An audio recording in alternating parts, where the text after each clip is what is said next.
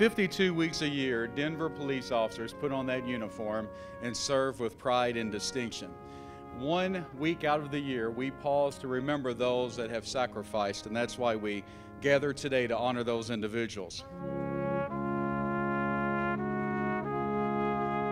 It's been a challenging time for Colorado law enforcement families.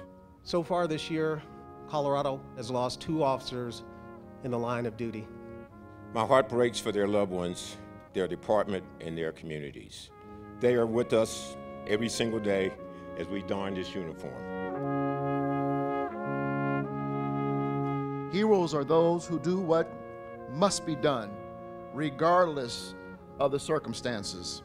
It's not just how they died that makes them heroes, it's how they lived.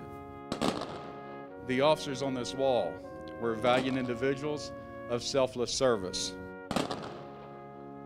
We honor you by continuing to speak of the importance your service meant to our communities and the meaning your lives continue to give us all.